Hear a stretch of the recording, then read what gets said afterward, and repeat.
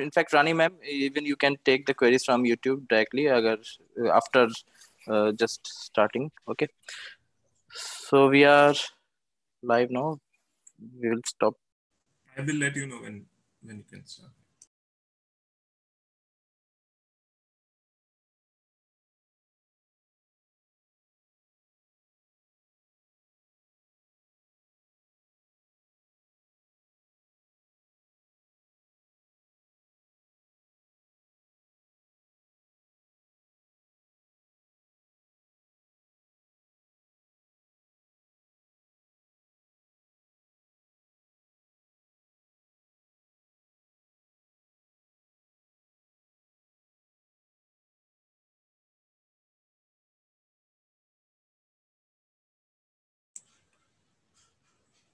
Yeah, we are ready. We can start.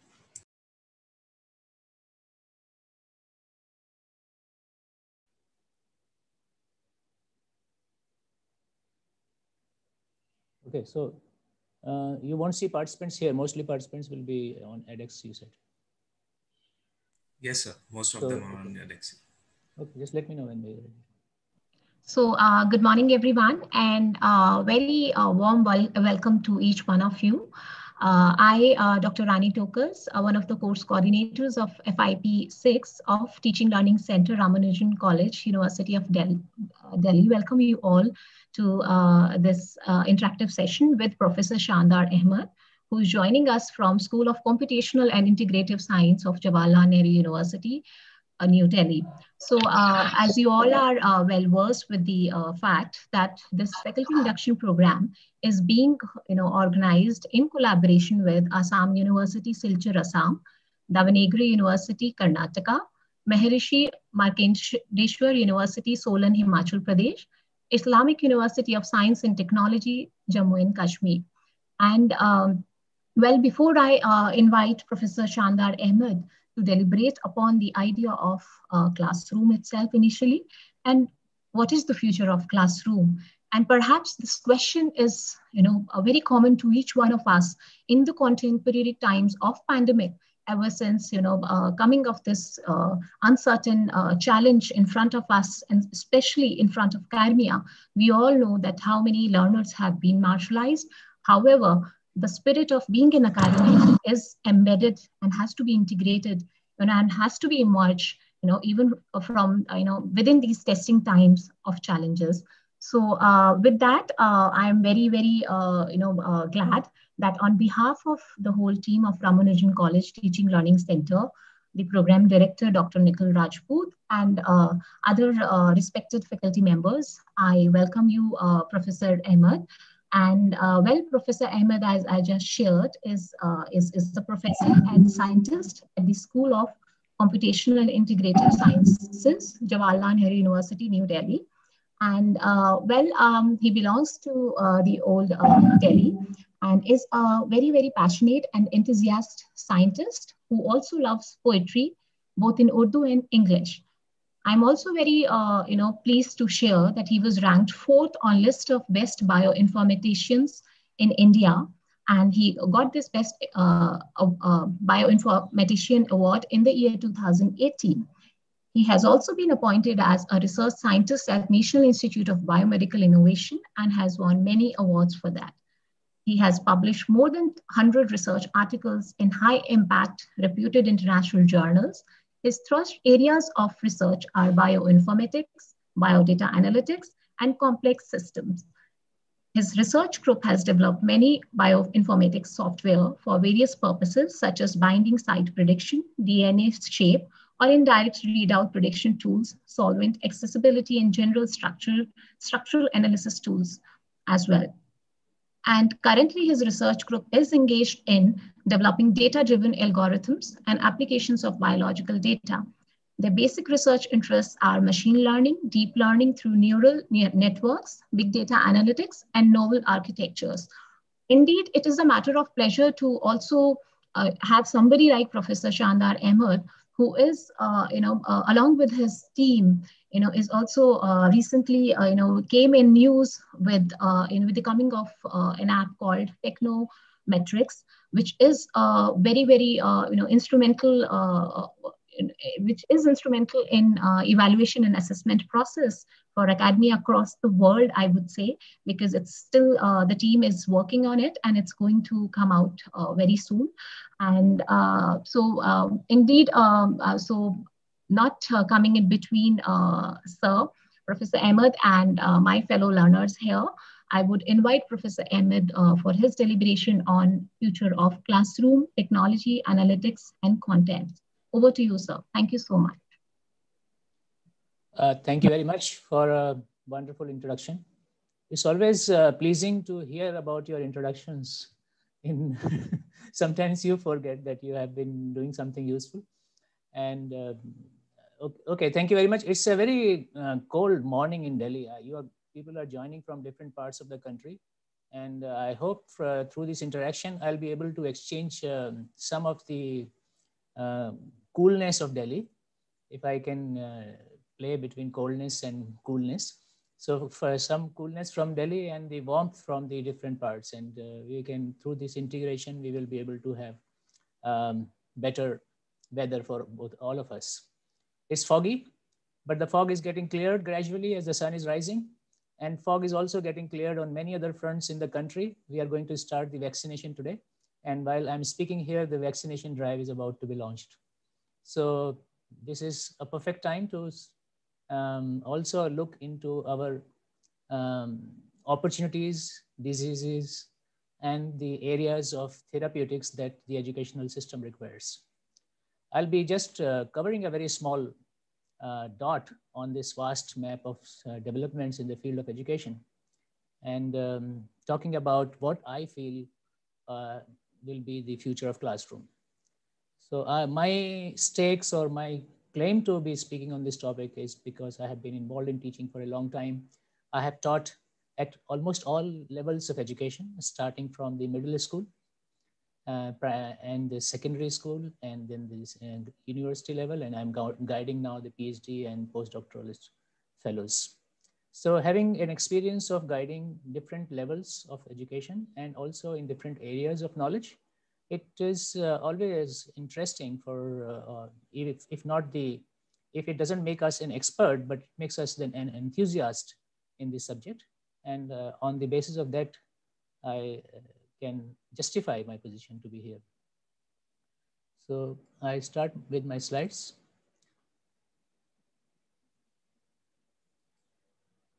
So I, when I say future of classroom, I'll be talking about uh, the technological aspect, the contents, and the analytics aspect of the uh, classroom.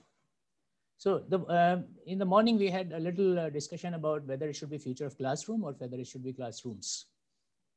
So it is the uh, future of classroom as such, the, the whole idea of classroom that I'm going to talk about, not just the physical entity of uh, the ballroom.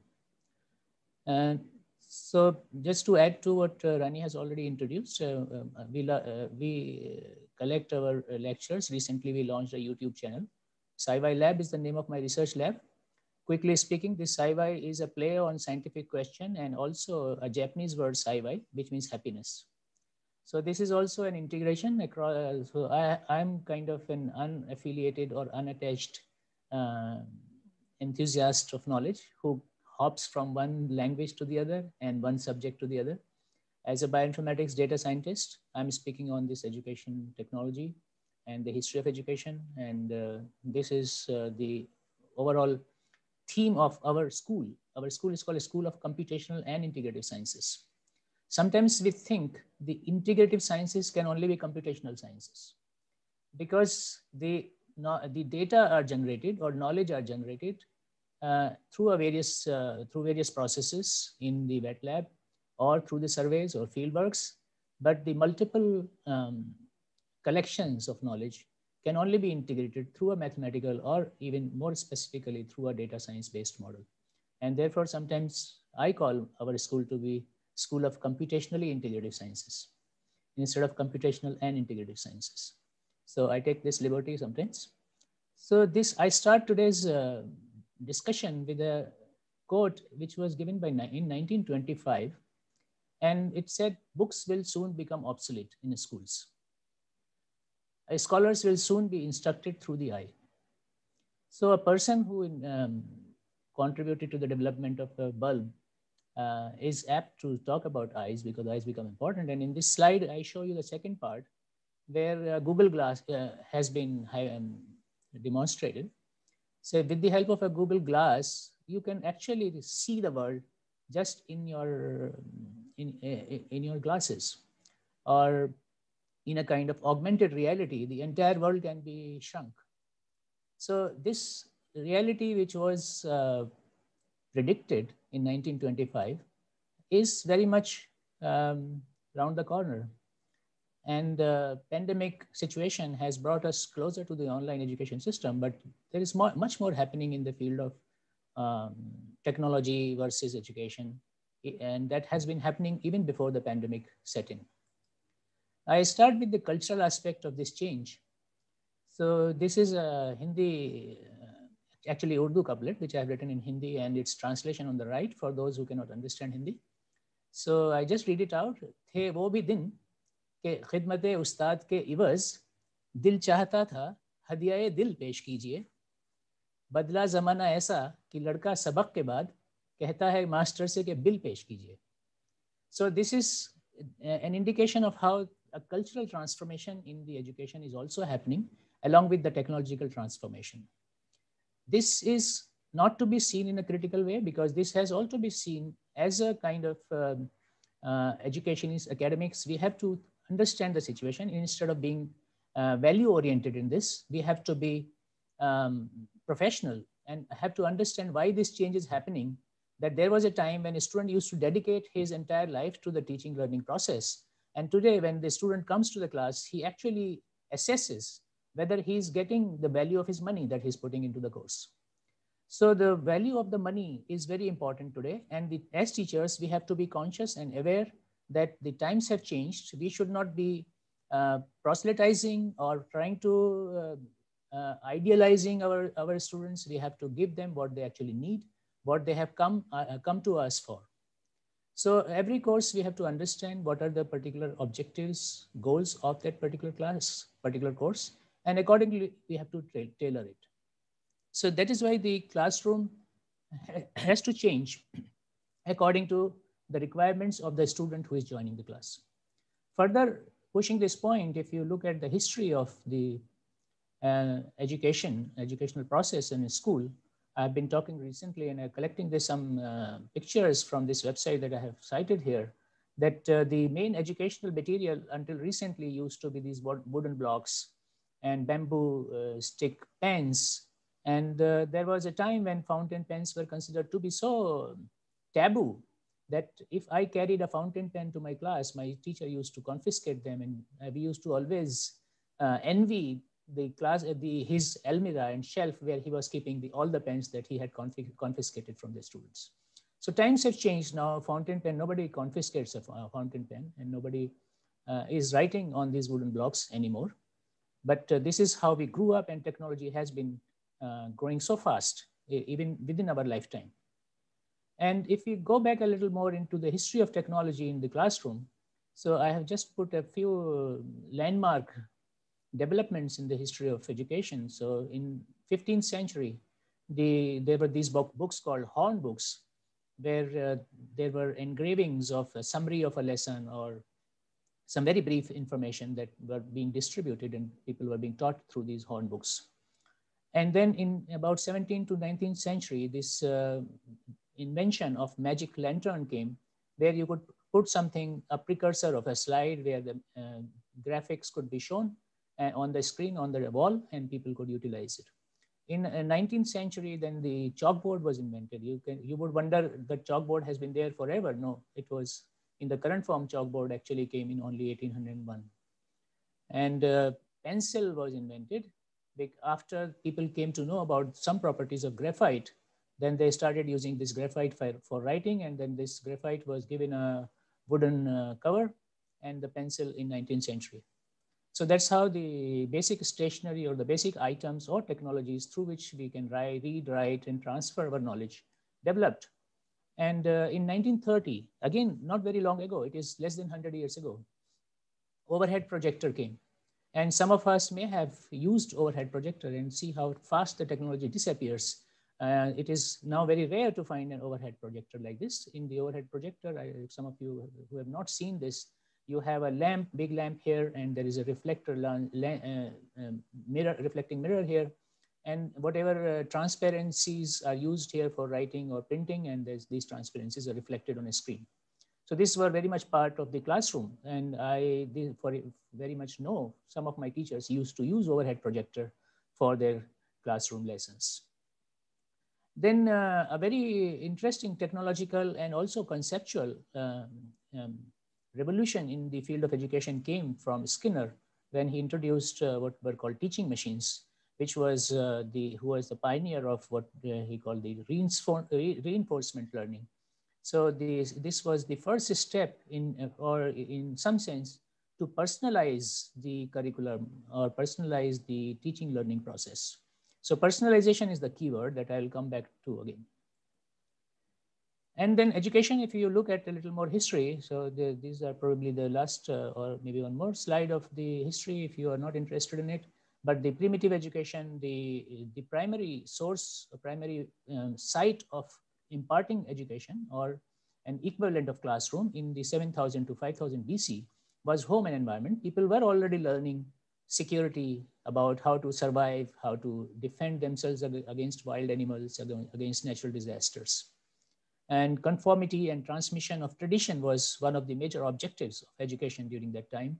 Reinforcement of superstition was also another important objective in this uh, Sumerian culture in 5000 to 4000, this uh, roughly, uh, the school was established and the reading, writing, mathematics, astronomy, architecture, arts, law, all these things, they started entering into the field of formal, uh, not, not really formal, but in a more organized way of reading, uh, learning, teaching process.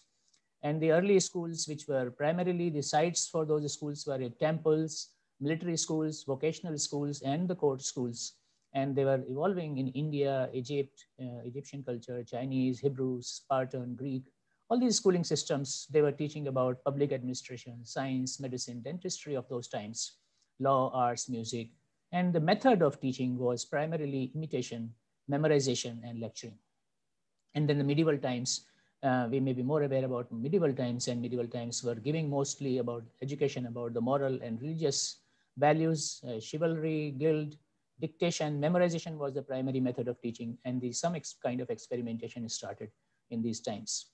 And mathematics, science, philosophy, history were already, and so school was getting a little more formalized. So this is a source for this information. Those of you who are interested in more of the history, uh, they can go to these slide shares. Wonderful lecture that I um, saw uh, yesterday.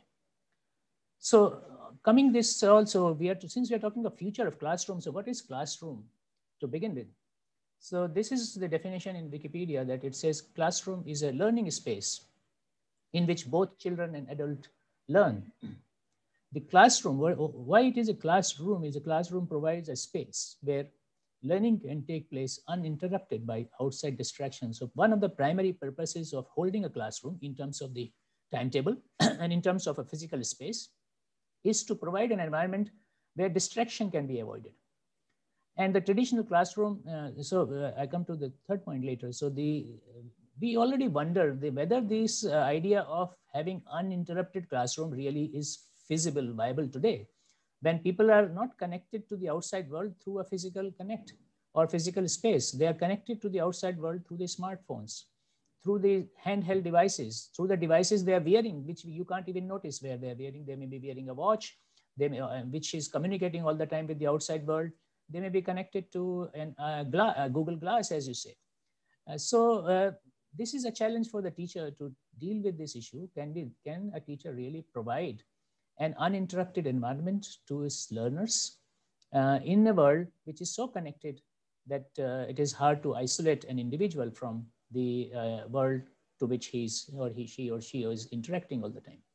So this traditional classroom has been attacked by advocates of various forms of, uh, there is an idea of alternative education. They say that classroom is not the right, right source of education. You should teach students uh, in alternative methods uh, so for instance, Italian educator Maria Montessori has written, stationary desks and chairs are proof that the principles of slavery still informs the school. So that means the, the mere restriction or, or isolating a student, uh, isolating a learner from the outside world is not really, there is a consensus that everybody wants that people should be completely away from distraction and they should learn on their own um, uh, in, in that isolated environment. There are views which say that there, there's no need of isolating a student and they can learn while very much being in the uh, connected space. So the, uh, the direct experience or direct interact activities can be utilized.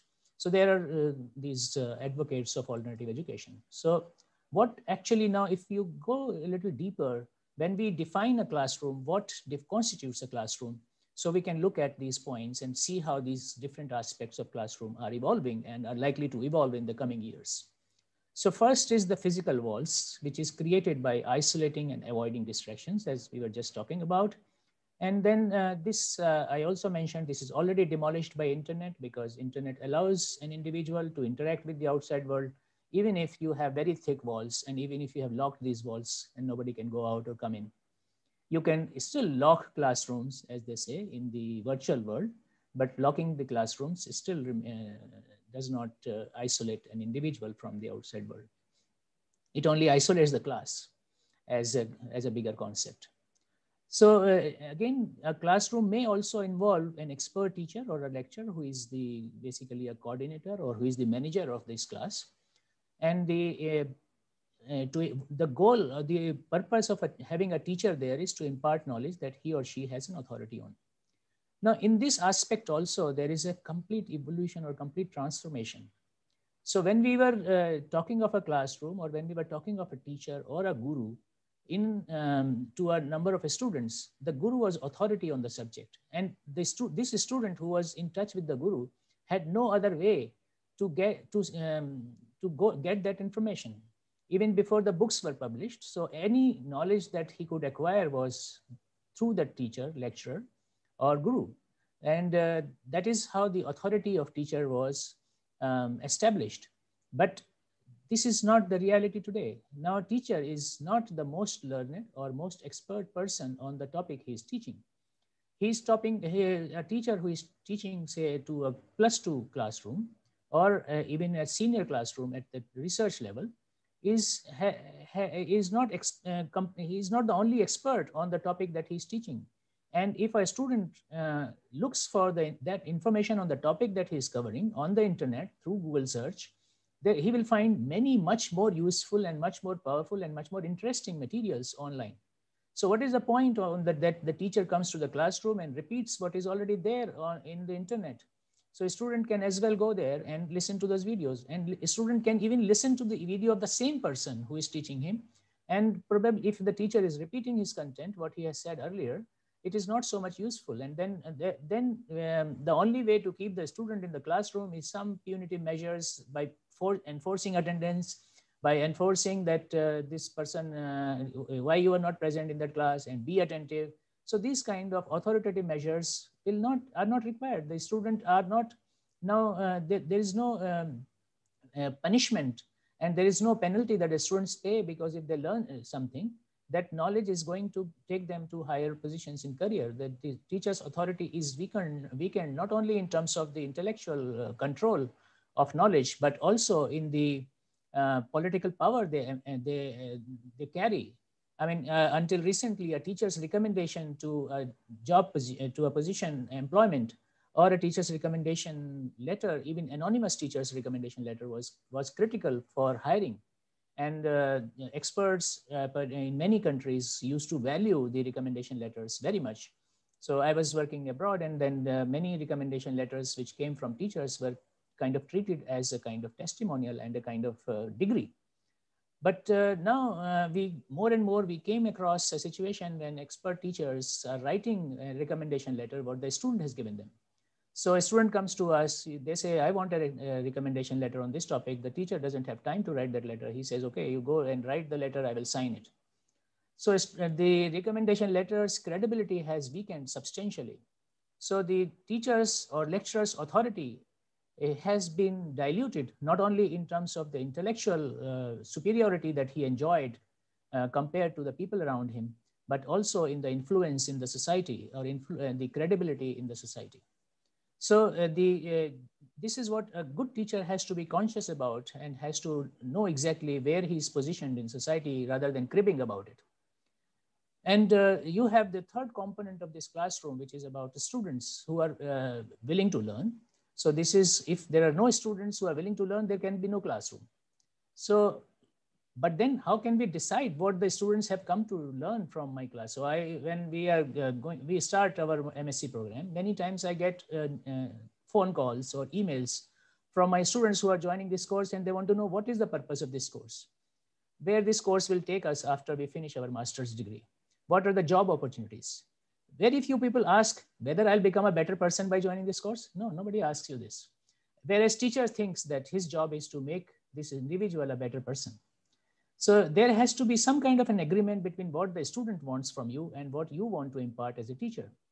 And if the student has come there to learn, to improve his chances of getting an employment, to make himself a better, more useful citizen of the society and uh, get a better salary, and your you are in your mind thinking that your job is to educate him about uh, ways of life about how to deal with others how to respect elders. So there is a complete disagreement between the two objectives and the classroom cannot exist uh, in this scenario because classroom is not there for teachers. Classroom is there for students and therefore it must cater to the needs and objectives of the students. And of course it should also cater to the objectives of the education policies which are set up by the authorities of the times so uh, what are the objectives? So they want to make them interdisciplinary. Uh, there will be some value component that the governments, the authorities would want us to impart. So that objectives, we have to be aware about how to impart them in best possible way, how to bring about a reconciliation between the various demands from our profession. And accordingly, we have to modify not only the way, uh, the contents of our lectures, but also the way we deliver that lectures. So these are some of the thoughts about what a classroom constitutes and how it is undergoing. So in terms of the classroom, we also have, every classroom has certain strategy of imparting education, how to teach it. So pedagogical activities like some of, sometimes very young children uh, in some villages still, they ask a student to read a book and the teacher is just listening. All the other students are just listening. And this is sometimes an effective way for the students uh, for improving the reading skills of a student. But then uh, rest of the students at one time when one student is reading, rest of the students are not really participating. And a very uh, classical view of the uh, teaching uh, process uh, is le lecturing by teacher. So a teacher prepares a lecture and he just delivers it without having any to and fro communication between them. So some of this uh, criticism, which will also be apply on the online education, has to be un uh, understood first in the uh, traditional or classical concept of classroom, whether these challenges are only limited to online education or they have been there in the real physical classes also. So teacher sometimes demonstrates an experiment, and uh, if you are teaching physics or chemistry to plus two school, or you are teaching it to the senior schools, you may have the uh, possibility of demonstrating this through an experiment, and there are now, experimentation and the critical thinking and, and designing the scenarios has become so common that even in social sciences and languages, there are many experiments that people perform. And people have innovated those experiments. So ex uh, the introduction of experiment in the classroom is a big landmark that has happened in the past and that continues to be there. So the one would wonder how can we do an experiment uh, when you are teaching online? So that uh, kind, this kind of questions uh, would uh, apply and we have to find solutions to them. And another way of uh, uh, pedagogical activity in the classroom that constitutes a classroom per se is the discussion and exchange of views. And in this, the, the teacher's role is to moderate these views or to connect what are the um, different if you have a class of 100 students, then you cannot have list, you cannot list 100 views. So teachers' uh, job here is to collate the views, to cluster those views and put them together as a group of ideas and perhaps uh, in some cases, if possible, also uh, give the correct picture of a concept that he is trying to deliver.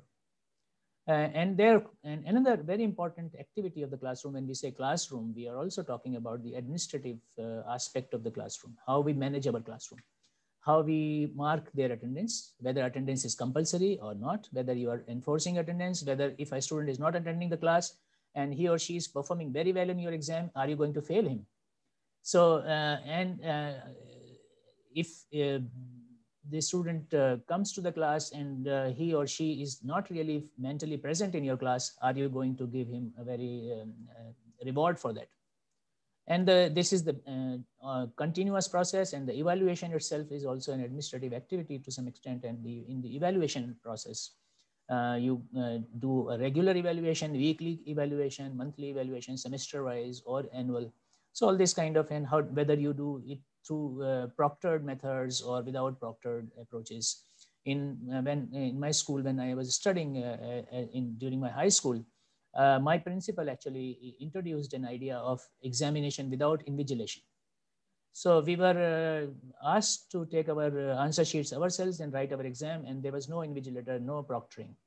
And uh, his idea was to introduce introduce responsibility and mo responsible moral behavior among the students. And it really worked very well. We were not cheating when we were doing this. So uh, how do we do evaluation? How we incorporate the best practices of, uh, practices of evaluation into uh, our system, our classroom, that is also an important thing. So what is going to impact our classroom, having highlighted these uh, few points uh, about what classroom is, let us look at this individually, not necessarily in that order, but overall. Uh, technology always alters the way we teach. Online education is the primary paradigm shift. We have been talking about online education so much so I spent uh, pretty much good time to talk about things which are not purely online and how the educational uh, process is so, changing. Uh, so uh, before we uh, proceed further, there are some a couple of questions. Can we take yeah, excellent. Sure, yeah. yeah. So uh, initially, uh, there is a question from Dr. Amrendra Tripathi from uh, Patliputra University. He says how printing technology changed classroom culture. That's what he's interested in knowing.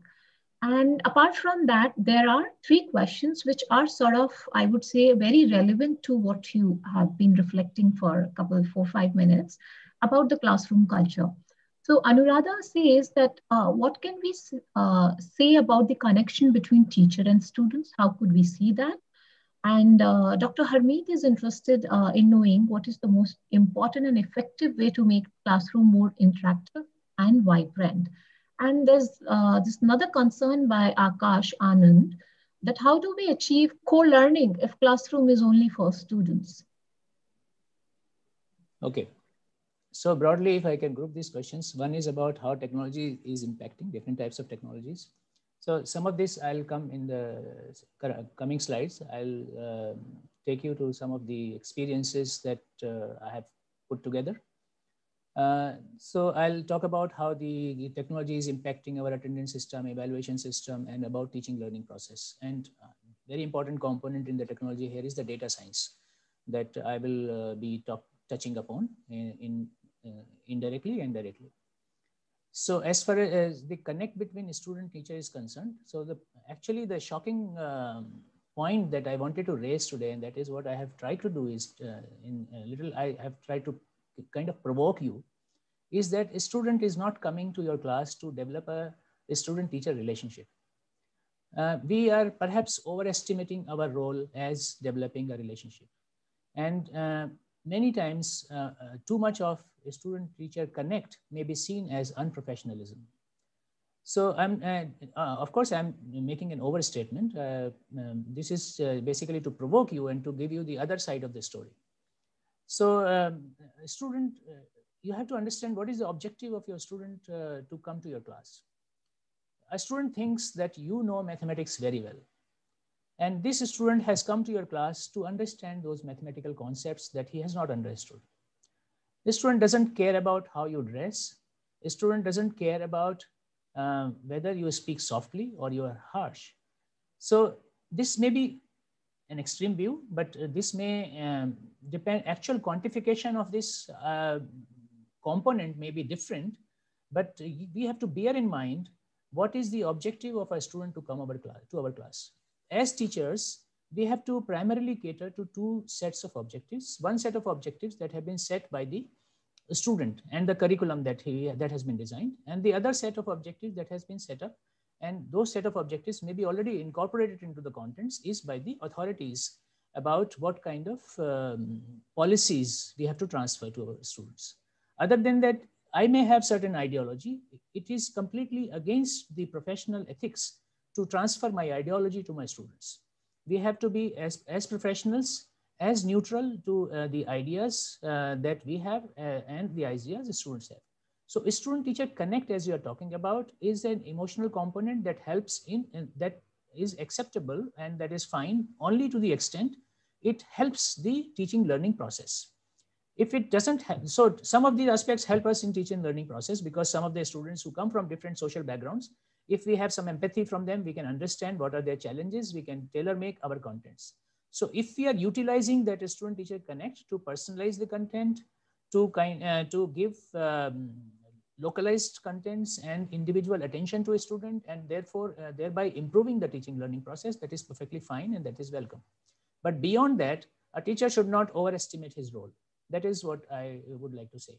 Is there any un, uh, unattended question here? Uh, there is another uh, concern uh, from uh, Dr. Gupta, Pavan Kumar Gupta. He says, uh, could you highlight, uh, you know, perhaps in uh, in the coming few minutes, I mean, he wants you to highlight on the criticism of online education context, particularly in rural, in Indian context, where more than 65% people live. So that's what he's interested in. Oh, okay. I'll come. I think my future slides are going to touch upon that. So I'll not comment it right now because I don't want to preempt myself here please.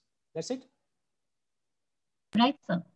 Okay. So we before yeah just uh, before we started this lecture, we had agreed to take a little few breaks to give some rest to your mind, and that is why we I it is so welcome that uh, Dr. Rani has uh, interrupted and given us a little time to reposition ourselves and prepare your brains to look at my contents even more critically. You are welcome to do so. So we resume our. Yes, sir. Please go ahead.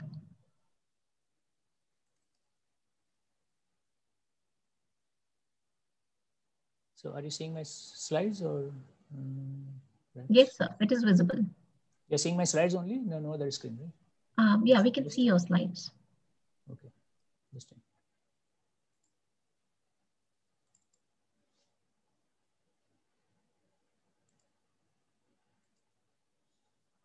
Okay, so um, online education. So we, this has uh, this is very much at the heart of uh, everybody, every one of us who has been affected um, intellectually and uh, professionally through the pandemic.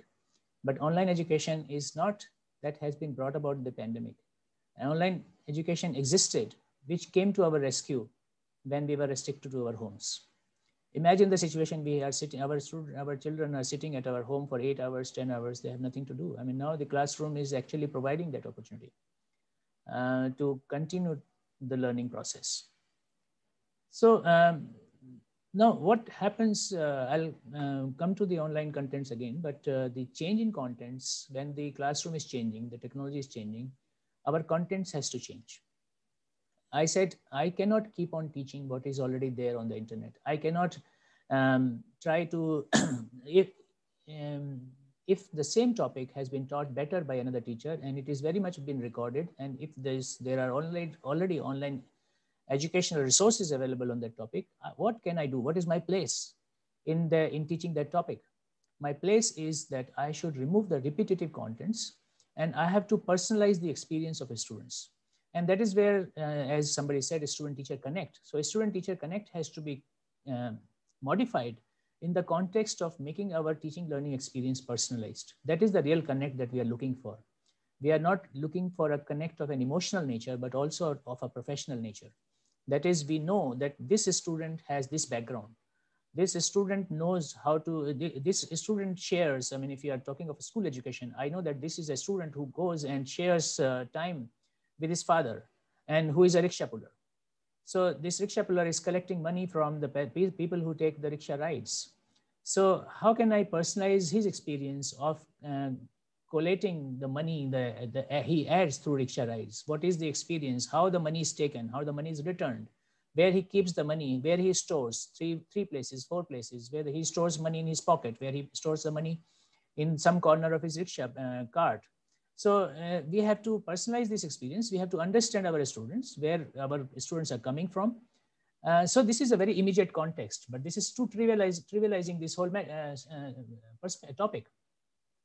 Personalized experience also includes about, about how, what, what is the history of my student. I'm going to teach them, say, artificial intelligence.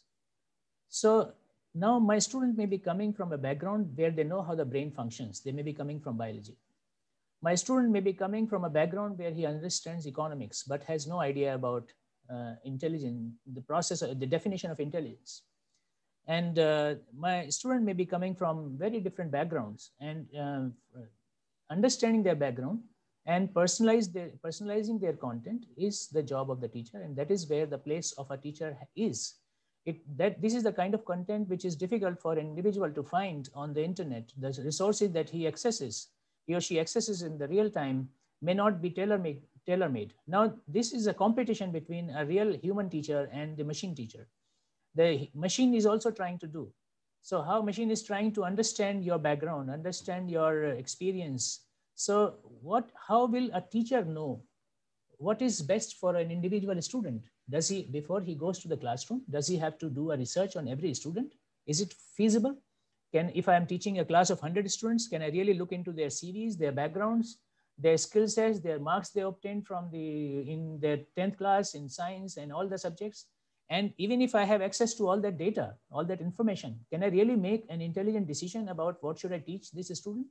I can possibly not do it. This can be done only through some machines, through computational methods to personalize these contents. So they can take this data anonymously also and without uh, compromising to the privacy of the, um, of the data associated to individual students, they can recommend, okay, this is the student.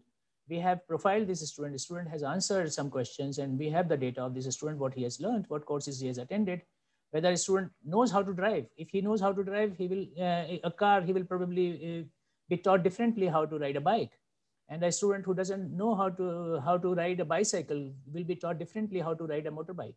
So this kind of uh, the background information the the whole idea in psychology in education earlier we used to call transfer of learning from one system to the other. Even machine learning has this idea of transfer of learning. So transfer learning has been incorporated very much into the deep learning and artificial intelligence methods today. So this uh, kind of knowledge has to be in internally in our database systems, in our informatics and analytics systems have to be modeled. And this can give, a, give the teacher some guidance about how to tailor make their contents. And that is where the teacher's role is to provide now, these are the guidelines, these are the key points that our data system, our AI-based system is providing. How can I modify my content and lecture in such a way that the student gets the best opportunity to learn and then maximize his, uh, his chances to learn and also maximize his interest in your class. So now many data analytics systems will monitor a particular online course, how the attendance is changing. When the student join, when uh, they start the lecture, there are 1000 students. By the time the course ends and the last lecture, the lesson of the lecture, only 100 remain. That means 90, there is a 90% dropout. So dropout, which was very much as part of the exercise done in the physical classroom in the traditional school, is also there in the online schools.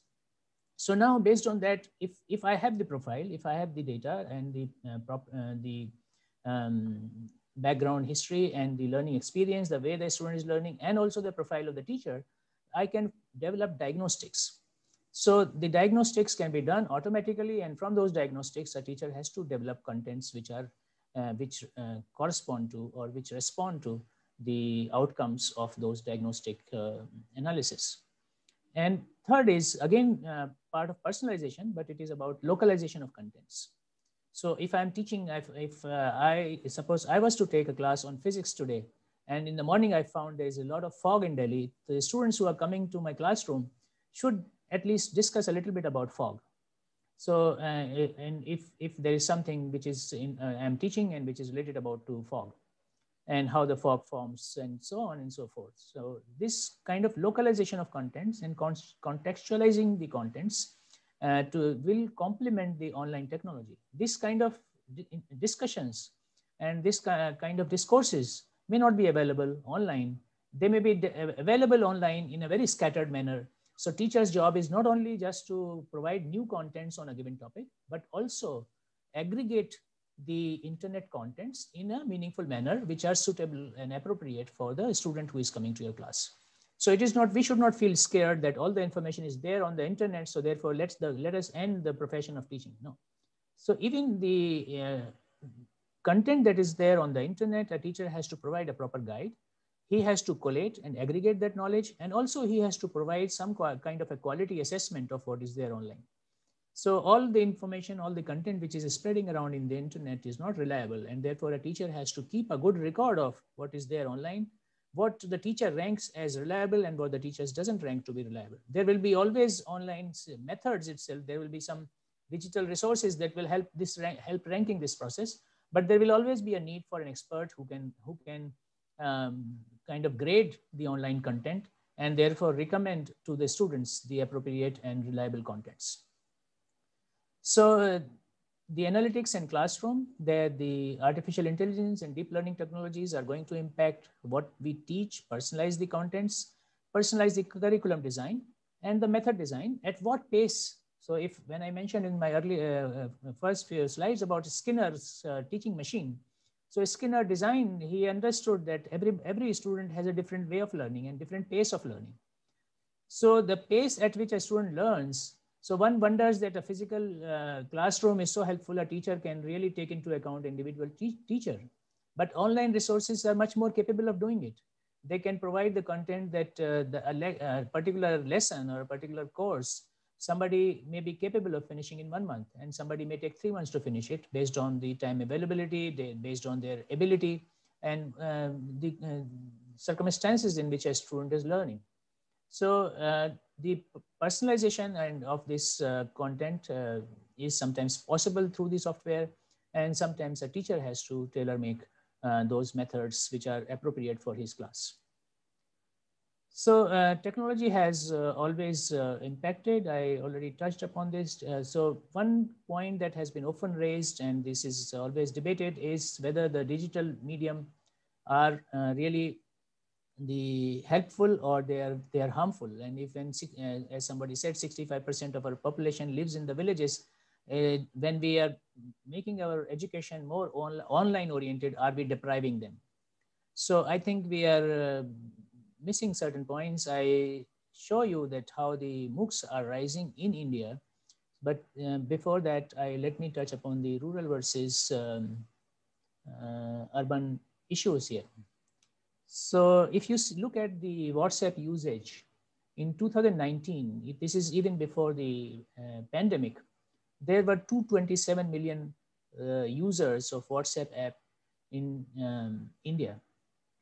And uh, in the urban uh, India, there were 200 million users. So there are more users. Of course, the percentage access uh, in um, uh, rural areas is relatively small, but thinking that the internet has not reached the villages is perhaps um, not really uh, um, having the correct picture of what is happening to the internet penetra penetration in the country.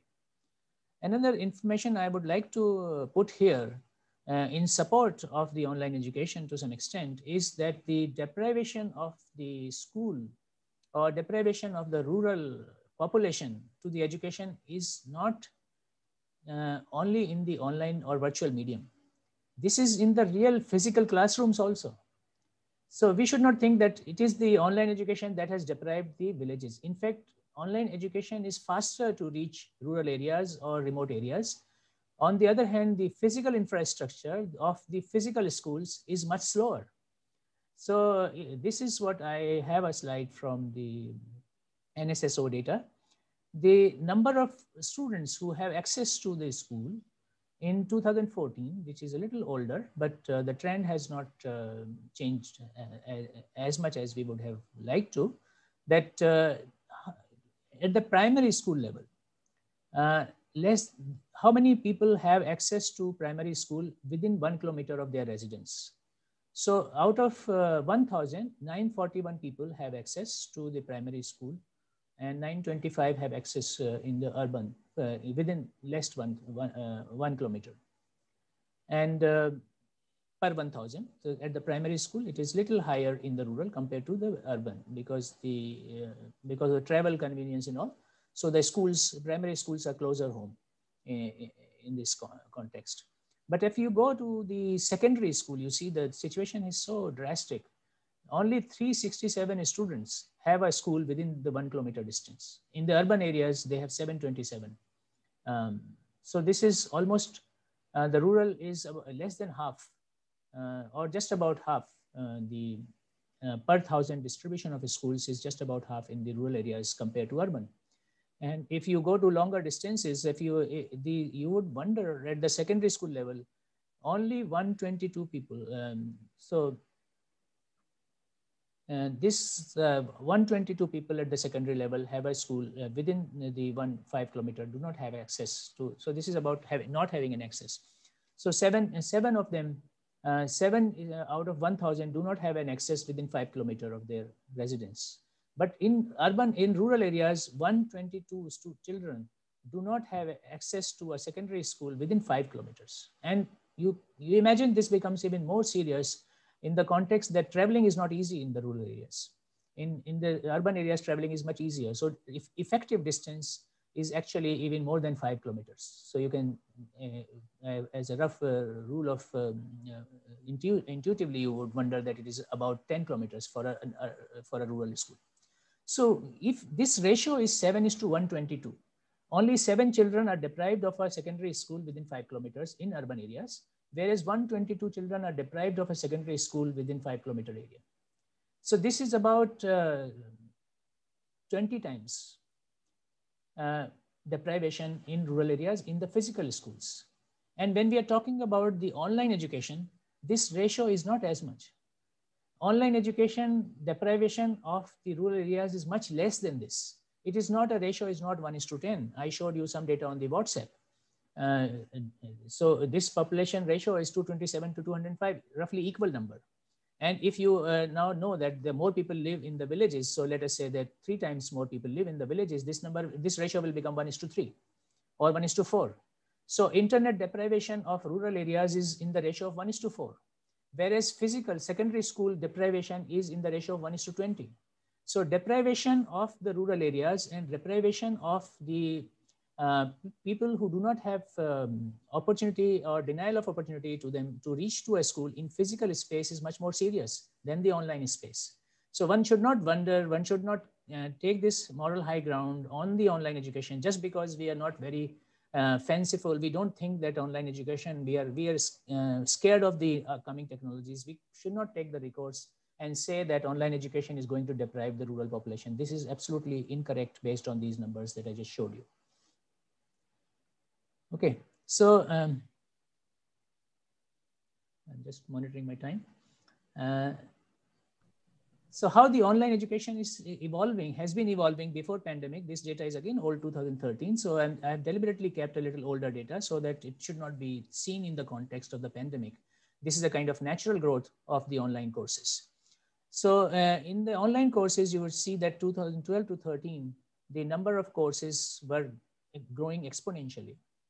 So in 2012, there were almost no online courses uh, on the uh, available pl uh, platforms. So if you have number of user accounts is going in hundreds and the number um, hundreds of millions actually and the number of courses which are available are shown in the red here so there are 250 um, platforms available uh, for uh, online education and out of all the people who were taking the online courses you would see that uh, india was at the second largest, just second after United States. So out of all the courses that were being taken by students, 27.7% students came from the United States, but 8.8% of students came from India. This is the situation in 2014 and uh, MOOC co uh, uh, courses. And what are the courses they are studying? One would think that arts and humanities they can't study, they can only study science lectures. No, but 28% of students are actually studying arts and humanities through MOOC courses. 30% students were studying science, 6% mathematics and business courses were online, information technology courses were online. So this is the situation, the proportion of these courses may have altered a little bit. But uh, uh, this is the natural growth of MOOC, which is not limited to the development of these platforms and sudden adoption of these platforms universally because of the pandemic and lockdown. So just to put this in a little more uh, recent terms, in 2019, this is the status. The Coursera has 45 million learners, 45 million worldwide. And they are offering 3,800 courses. It is uh, a huge number of courses they have developed. And they have uh, micro credentials and 16 degrees they are offering. edX platform that is being used uh, for this course, they have 24 million users and uh, 2,640 courses. This is uh, 2019 data. Uh, source is mentioned here and 10 degree programs. Future Learn and SWAYAM, these are the numbers that we had uh, in 2019. These numbers are all changing very fast. In our country, we, the digital learning process has been pushed Uh, strongly and uh, these numbers are uh, growing very fast. So this, these courses are not just being taken by the urban population. These courses are being taken by everybody and anybody who has access to internet. And taking internet to a remote area is much easier than building a school and even when you build the schools, I do not have that in my slides. There are so many examples, so many news reports which say that there, there are so many ghost schools in the country where schools exist only on paper. There, there is a school classroom and the teachers are being, being paid salaries, but there, no classes are ever held. So this, uh, even if a student wants to attend the class, there are no teachers available. There are no, there is nobody in the school. School never opens. But uh, on papers, these there are thousands of such schools, and there are many reports that have that have come in news reports. You can uh, refer to them. So uh, thinking that online education gives you more deprivation in the rural areas is uh, again uh, this is another repeat of my and negation of that argument. So now if you look at what kind of contents are being used in the online, this top um, panel on this slide shows that online educational videos form 67% of the educational material. And whereas the app and software, there are 65% of uh, the content people are using this. Whereas there are uh, other contents, something like uh, and content related games, ebooks, simulation in VR platform is an area, is a topic which is of great interest, and that is where uh, um, a lot of work is needed and is going on.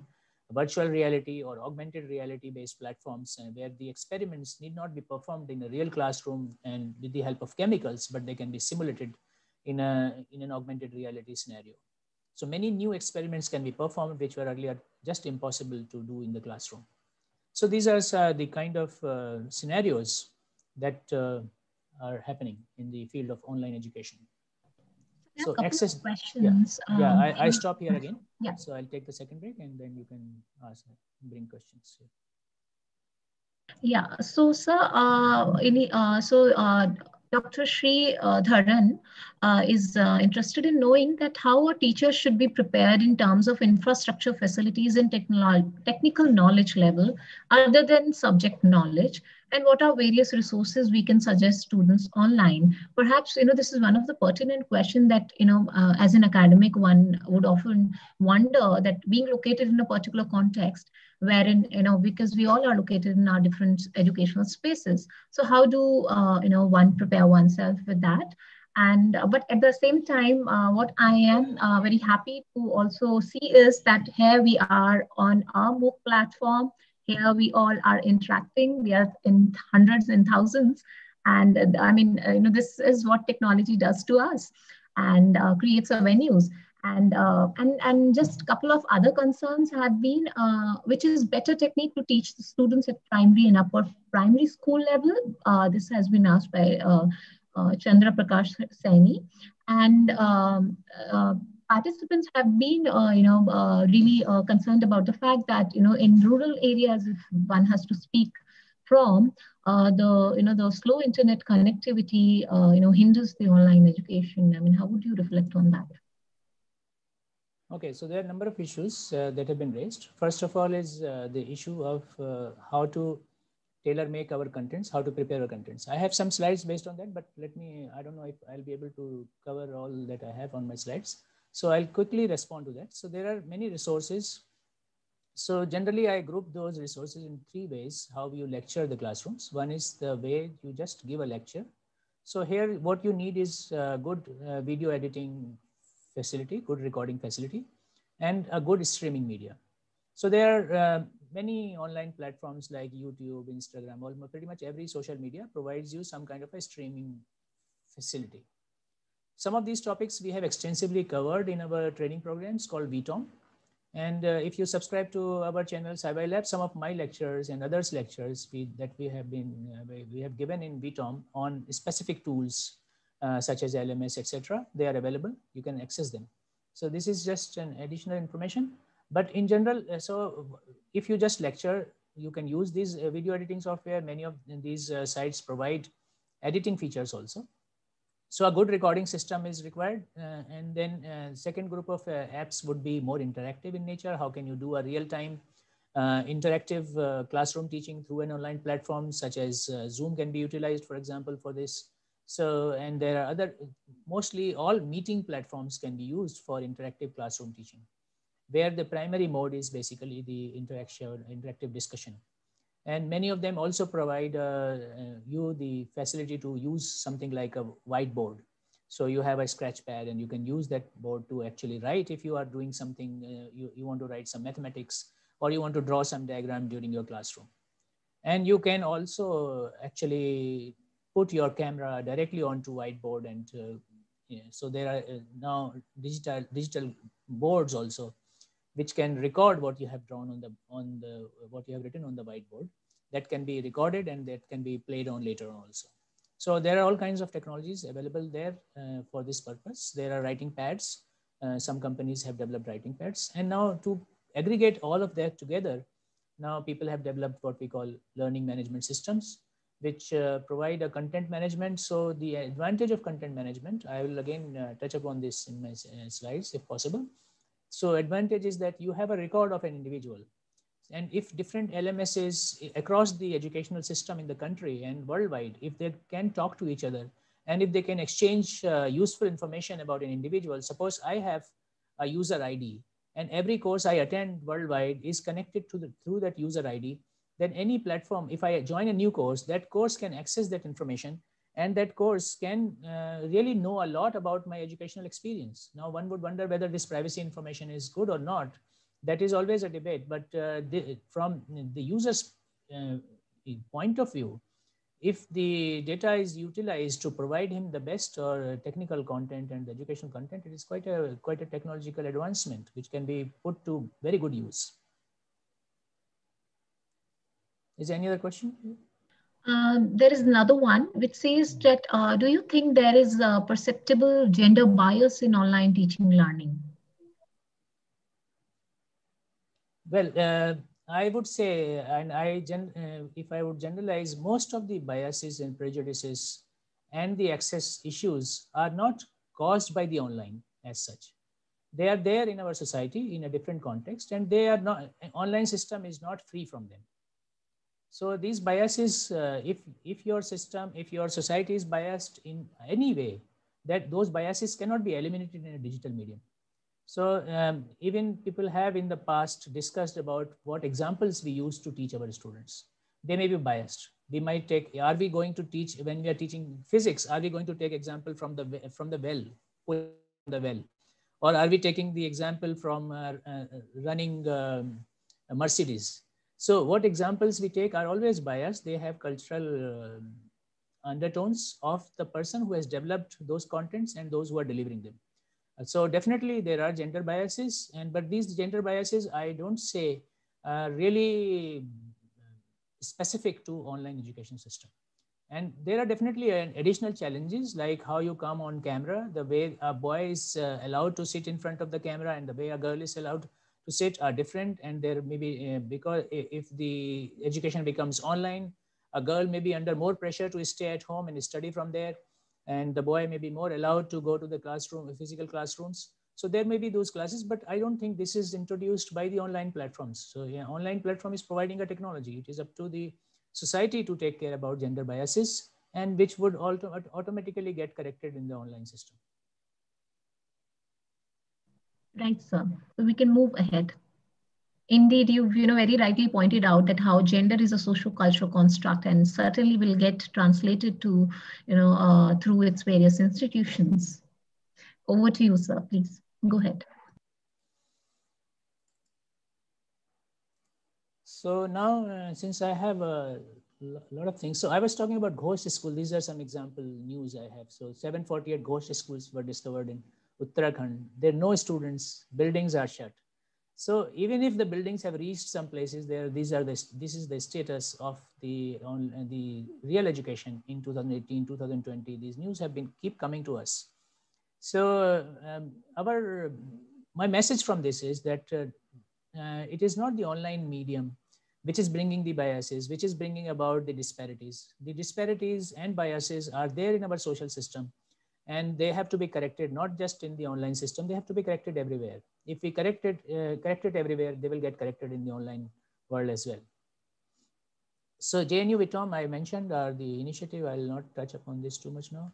So the, um, I'll go to, since I was about to talk about the technology that goes, so let me uh, touch upon how the attendance system is evolving in the classroom, for example. So there are three different methods of attendance, the way attendance is being collected. So, but even before we talk about the attendance collection system, there is a whole debate whether attendance should be compulsory or not. So JNU traditionally has been, um, uh, has stood for having a, a relatively free system of attendance. The attendance was not compulsory in most of the JNU courses, if I understand it correctly. I have not been a student here, but I think Dr. Rani is here. She can confirm if uh, attendance was not compulsory in JNU for a long time. Yeah, it was not compulsory. Yeah. So the philosophy of having an uh, attendance not being compulsory is that a student, if the student has a motivation to learn, he or she would come to the class anyway and if the class is not giving him or her anything useful, why should you force him to come to the class? So attendance is therefore not a measure of your academic performance. Okay, attendance is a kind of policing your activity. Uh, that, could, that could be one view. And in order to attract attendance to your class, in fact, attendance of in, in your class can be an indicator about how your class is going. If people are not attending your class, maybe you should look at your methodology. Maybe you should look at about the timing of your class. Maybe you are, if you keep your class 8 a.m. in the morning in this weather of Delhi, uh, students are still sleeping because uh, they usually sleep late at night and therefore they get up late in the, uh, in the morning. So maybe you need to change the timing. Just a mere change of time timing can change the attendance uh, pattern. So this is a very simple thing that you can, you can do but also about the content. If the student is finding your class to be boring, and if the student is finding that your class is not giving anything innovative, you can you cannot perhaps force the student to attend, especially now that the student is paying you for your class. The student is the payer, so a student is now a customer of uh, of your education. If you look at the education as a commodity, the student is a buyer, and it is the responsibility of the seller to give the best product to the buyer. So it is this responsibility of the teacher to provide the best content that attracts a student and that finds favor with the student. So having made the, that uh, value-based point, I come to the technological aspect of the attendance collection system. So three uh, essential developments uh, have happened in the field of attendance collection. One of them is uh, called RFID based method where the, every, everybody is given an RFID card.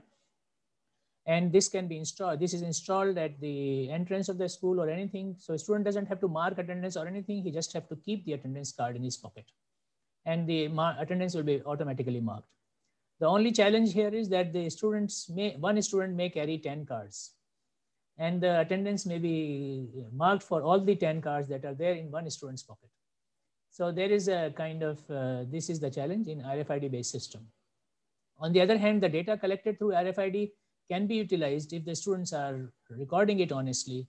And in many countries I have lived, the students will never do this kind of cheating. One student will never carry two cards. So, but uh, in our country, fortunately, our students are smarter than that. And our students may often carry more than one cards at a given time. And uh, therefore, uh, but if the students are uh, trained and students uh, agree to record their attendance fairly. And if there is no penalty, so if there is no penalty, there will be no cheating. Most people lie because there, there is a cost of telling the truth. So if there is no cost of telling the truth, then probably you will get the, uh, get the truth. So the if you can get the students uh, recorded properly, then you can utilize this. You can have a, an internet-based system, or you can have an app which aggregates the RFI, uh, the attendance patterns. Which students are coming late? What are the what are the patterns? What is the timing at which the students are more late? So you can do data analysis. You can do AI-based diagnostics, and you can actually improve the teaching learning process, the entire learning program. And then the second type of systems that have come into being, which is uh, less prone to the manipulation by, uh, is the biometric attendance management system, biometric attendance system. You put a thumb and the attendance is recorded. So in these two types of uh, biometric systems are there. In one case, the all the biometric data about you is stored in the system, and then the um, technology will be used to match whether your your fingerprint is matching to the database or not. So there are some privacy concerns on this. So alternative system is that your thumbprints are stored on your card. You are given a card and you punch both your thumb and your card. And if both of them are matching, the attendance will be recorded. so, sorry. So if you do this in this way, you can avoid uh, this uh, uh, having to keep the data of every individual. So privacy issues can be um, addressed in this way. So this is the second uh, system of attendance, and the third system is an app-based. So you can have uh, something on your uh, uh, on your smartphone, and you can utilize this for marking attendance. So these are the again these type of attendance marking systems can provide uh, data which is very useful for designing the uh, to, for planning the future classes and to plan the lectures and look at the patterns that can be harnessed for improved teaching learning process.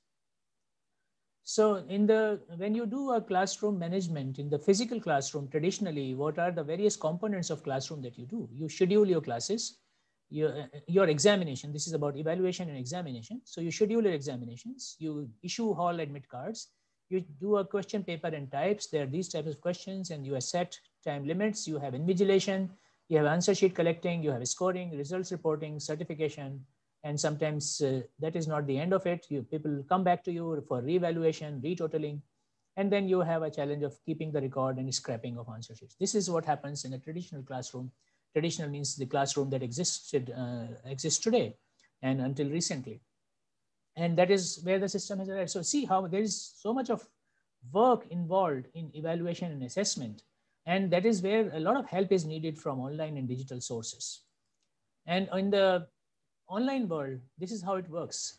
You have assessments, you have online tests, you have result reporting. All this can be done. Most of this can be done automatically. You can set time limits. You can have a user management system. You can have a question bank. You can have quizzes. So storing a question bank is a, something which can drastically help, uh, greatly help in the in uh, the teaching learning process, which is difficult in the physical world. And you can have automatic grading. You can have randomization of question, which is so difficult in, without the use of digital media. You can also issue certification. You can schedule. You can have weighted questions. So every you have questions, and every question may have different marks. So when you are looking for a solution for online uh, evaluation system, this is these are the kind of features that you should be looking for. And you can give surveys. You can do question branching. So these are the features you have to see whether these kind of features ever are available in the system or not. So what AI does, I just, uh, because a uh, lot of uh, dry content, so I put a little poem here, which says about how artificial intelligence can be used here, mimicking brain, shallow and deep, machines are learning, letting man sleep.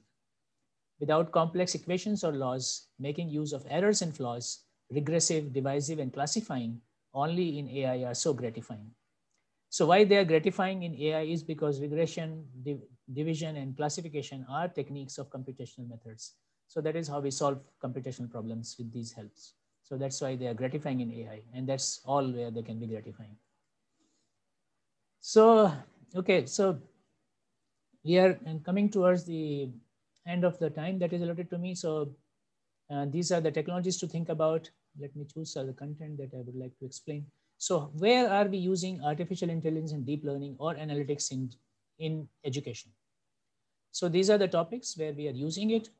They automatically optimize your course content that you have a course content, you have hundreds of chapters in your lecture.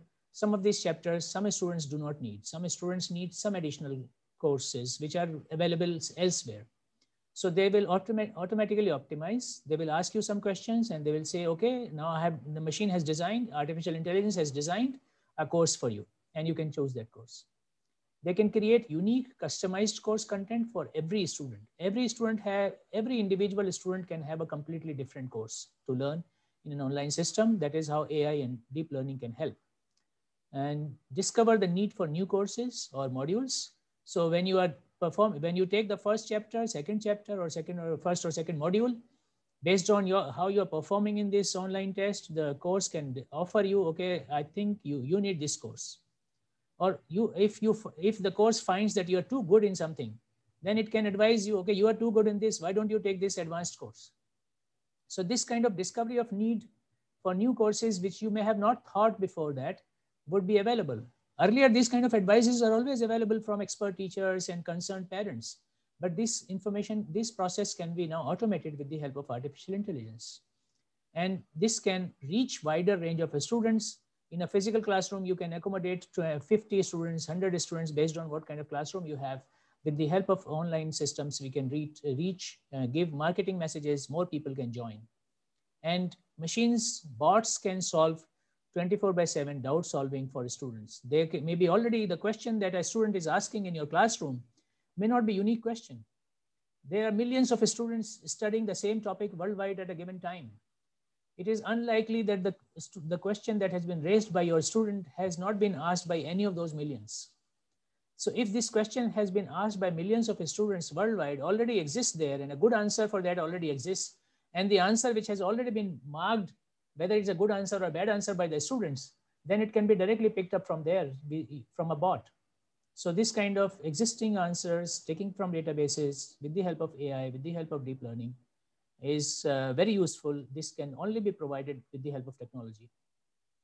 And it can also provide interactive immersive learning experience, which is called the augmented learning. So for those who want to learn more, this is a reference I would like to give you emergingedtech.com, which has this uh, interesting primer on machine learning and deep learning for educators. So the questions I'll raise a little bit, I will not be able to discuss much more except uh, through your questions is, uh, can we ask, can we uh, in the future see robots as teachers? So teachers in the virtual class, maybe actually every teacher who is joining the class need not sit on a chair like I am sitting here. In the future, there will be better places, studios from where a teacher can learn, can give a lecture where there will be some students participating in reality in physical classroom and some students joining online. So these are kind of hybrid classes are already there, but more and more of this we will see.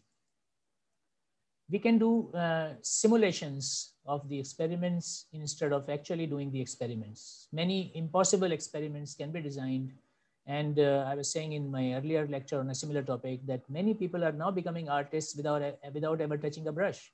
Our children are drawing, making very be beautiful paintings with the help of uh, these um, online tools.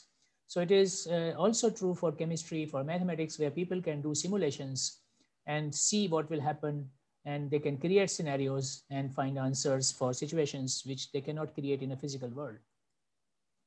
So this is the idea of the virtual lab where the whole uh, entire experiment has been designed in a virtual mode. And people may think they are in uh, the universe, they are going through the, so earlier efforts in this direction was, if you remember, there are planetariums and people would go to a planetarium and they can see, okay, this is a particular star, this is a constellation, this star is here and so on.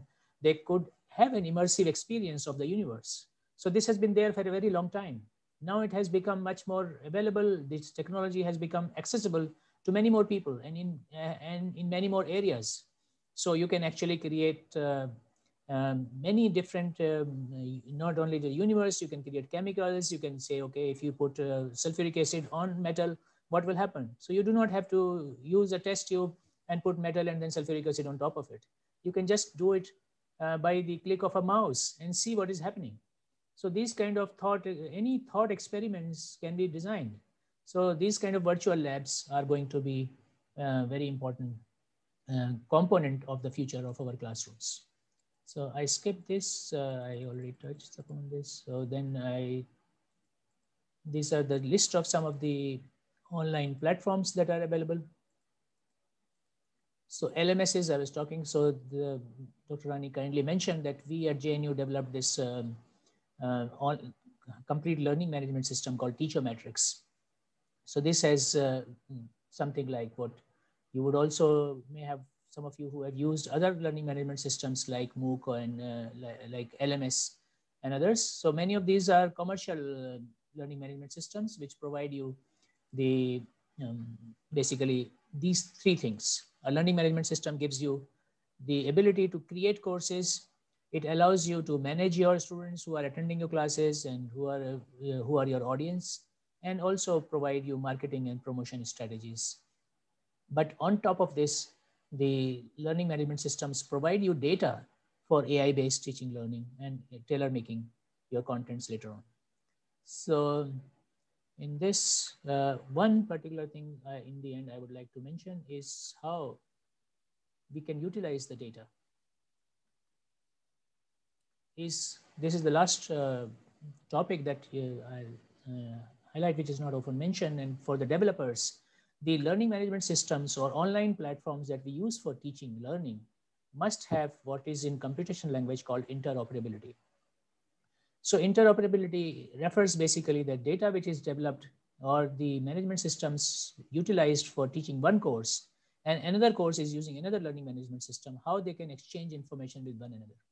Exchange of information is important for developing diagnostics and developing the optimized content that has, as I have been highlighting in today's lecture.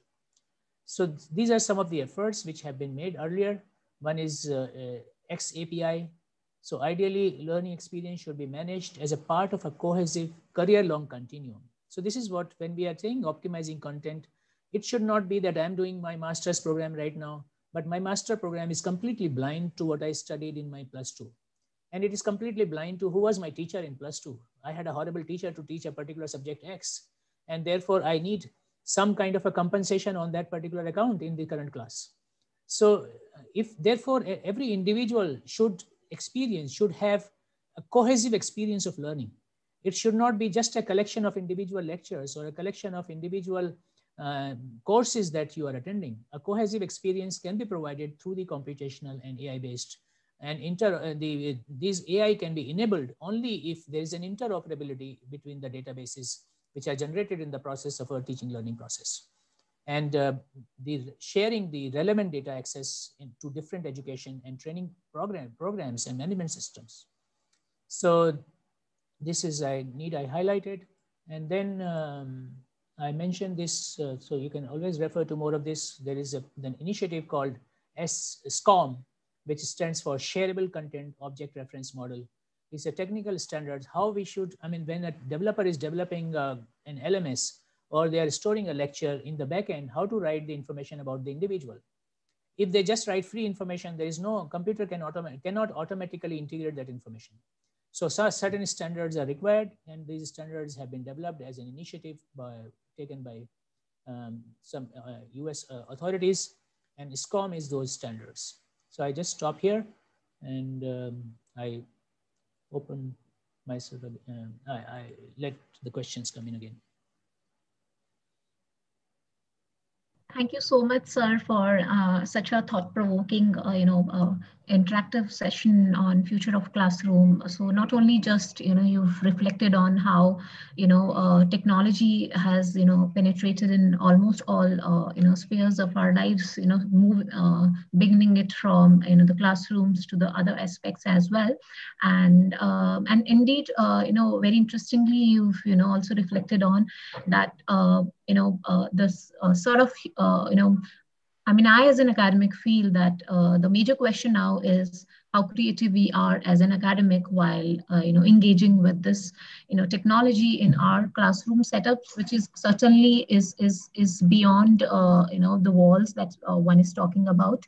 A learning which moves beyond the four walls and has to be engaging and yet has to create a dialogical space right there for your learners. And of course, we participate as co-learner rather than being just into the category of being authoritative, as I'm reminded of Paulo Freire's, you know, uh, categorization of you know, uh, in, in his work, Pedagogy of the Oppressed, that, you know, uh, we uh, as a teacher, it's, it's, it's our, uh, you know, prerogative and our role as an academic, how, uh, you know, meaningful we can make that learning process for our, you know, learners as well. So there are a couple of questions. Um, one is about, I think, which we all have been grappling with, as a parent, as a you know a co-learner in the process, or for that matter, if one can categorize as a teacher, that how students are getting addicted to gadgets, which uh, we need to think about it. So this is uh, being asked by Sudeep Mandal, who says, you know, I think I, I lost your voice a little bit uh, while you were uh, Am I audible now? Am, am yeah, I audible? Yeah, I, I missed part of it. Can you repeat the question? Sure. So I'm saying uh, this question has been put across by Sudeep Mandal and uh, he is uh, precisely you know reflecting on one of a, a very uh, pertinent question that we as parents are grappling with and as an academic certainly that uh, and he is placing this uh, in context of school level uh, students that how they are getting addicted to gadgets which is harmful for their physical and mental you know health. So you know he's saying that we need to think about it. So how would you see that another one is on uh, the you know on the technical aspect that can we uh, have an alternative to Google Forms to conduct online exams? Okay, so first part is uh, how to deal with the addiction of. Uh, so first, uh, I would take this position.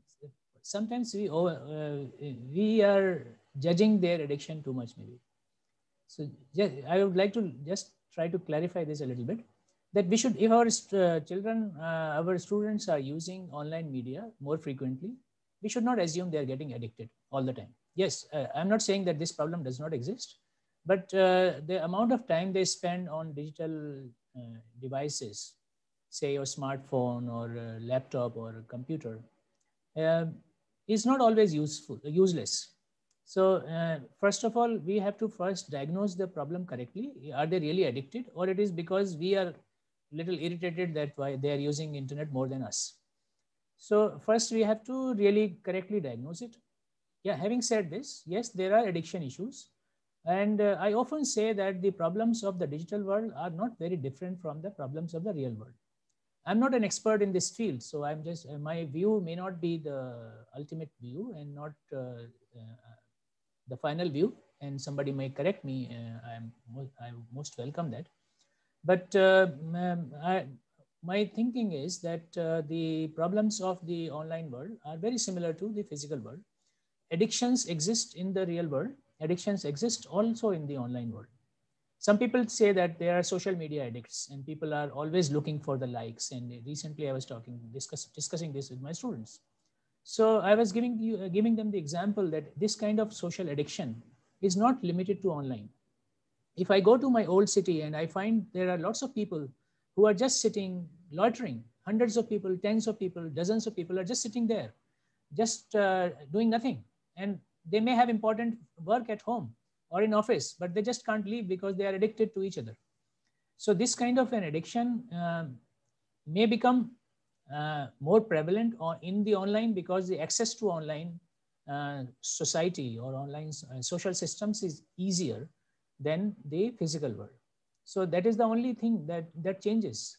Uh, why people would be more addicted in an online system and not addicted to uh, sitting uh, outside in the street is partly or sitting with friends or playing sports with friends why they would be more more addicted to an online game and not in a real physical game so uh, part of this is that it is easier to access an online system and therefore uh, this is um, this becomes easier to become addicted to them. So solutions would be similar and this, this um, to provide them the best, better content and uh, to utilize the co-opt these technologies to provide uh, uh, the uh, um, materials in the online systems which can be useful for them and providing them alternatives which are uh, more interesting. So, and also engaging with them. So if people have no, no other way to go. You have to find, give them interesting. You have to give them alternatives. Human brain wants, brain wants to be busy all the time. And if there is no other way to engage your brain, then that they will go to the easiest way to engage your brain, their brain, and that is the social media. because social media is alive 24 hour, 24 by 7. Whereas US parent and US uh, siblings may not be available all the time. So having alternative uh, options for, for our youngsters and for ourselves may be a way to go. But I would uh, still say that all these social uh, media access and social media activities are not to be seen in a, in a negative way. We have to really know whether it has reached the addiction level. And when it has reached the addiction level, we have to take the corrective measures. So, uh, so I mean, would you, uh, you know, would you, I mean, how would you see? I mean, do you do you also feel that this is indicative of the fact that you know that uh, children, or for that matter, adults, getting addicted to gadgets, social media, or online platforms more, perhaps due to the uh, you know um, uh, the increasing disharmony in human relationships and disintegration at some point of time? I don't know. I mean, I don't work in the area of social conflict, but um, my in my humble view, I I don't think that the gadgets create more disharmony, and uh, I, disharmony can be created in in a real world as well. Disharmony in terms of physical world, I'm talking about that human sure. relationships. Uh, in terms of human relationships, that is getting implicated, uh, you know, through people getting more addicted to gadgets or perhaps no, beyond all, the I, am always, minimum usage. I, am always careful uh, in first of all, I, as I stated my answer to the previous question also, I'm always careful uh, in before I label somebody addicted. I really want to know whether he's really addicted. Just spending more time than me is not addiction. If I'm spending two hours and somebody else is spending five hours on the internet, I cannot call that person addicted I can call, uh, so there are certain, I think psychologists have a better way to define what, it is, what is addiction and diagnose whether this addiction has reached clinical levels or it is just uh, kind of uh, people get more attached, attached to them. I mean, uh, some of these addictions may not be bad if they're not doing anything negative. So, I mean, we are, we are addicted to human relations. Children may be addicted to their parents. Uh, and uh, a child may not go to his mother and may only go to his father or vice versa so they're not addictions. It is just their uh, preferences and that is where they would want to interact more. So kind of uh, when it reaches a clinical level, that has to be diagnosed properly and uh, we should not always assume uh, that they're addicted to it. But yes, because uh, social media gives you a lot of exposure. The physical world does not give you that much of an exposure and it is uh, it can be more intense and you may be getting variety of experiences but uh, if uh, the media are used judiciously, that keeps you informed. So the idea is to give them the guidance on what is the right content, what is the wrong content, which news sites to believe, which news sites are fake, how, and to develop the culture of verifying the information they are receiving.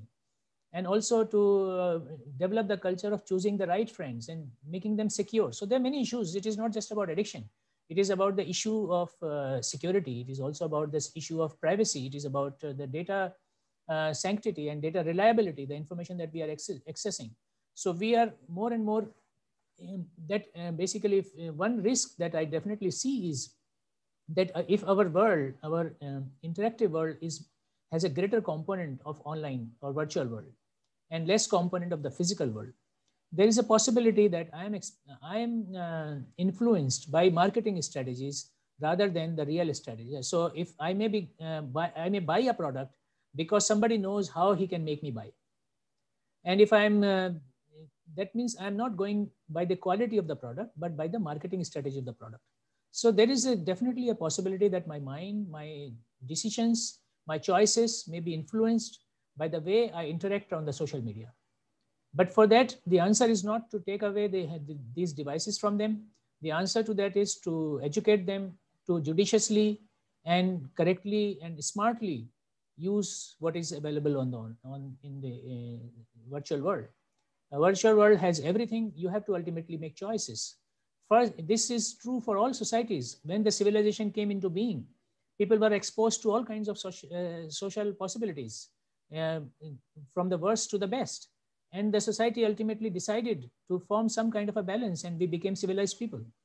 So same way in the virtual world also, there may be a lot of uncivilized behavior, but ultimately that society will also learn to be society, civilized. So that is my hope.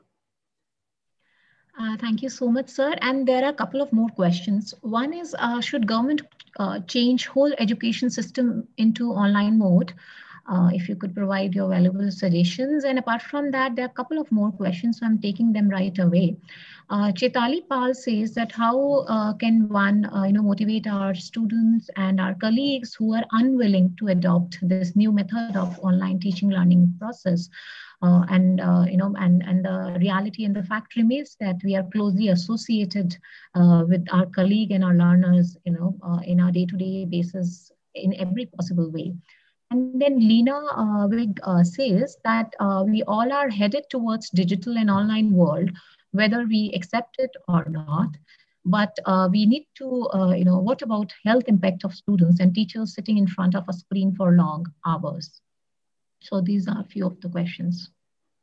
Okay, so there are three questions. One question is, should we move entirely to an online educational system? I mean, this is a policy decision, but as uh, academics, what are our views on this? So uh, I don't think the technology will completely replace the real classrooms. And there will be, uh, as I showed you in the, one of these classes, uh, one of these slides, that there will be a hybrid system. Some students will join online, some students will come, come in person, or some contents will be provided online and some in person. So I don't foresee that in the near future that the physical classroom is going to disappear. And uh, I also don't see, uh, foresee that uh, the online education will disappear. So they have to learn to coexist. Technology has to be co-opted and they have to go side by side, but we have to um, carefully assess what is the best medium for a given topic, for a given people, and for a given situation, scenario in terms of uh, social impact, in terms of economic impact, and in terms of the uh, learning, teaching learning um, efficiency. So this is the thought for the first question.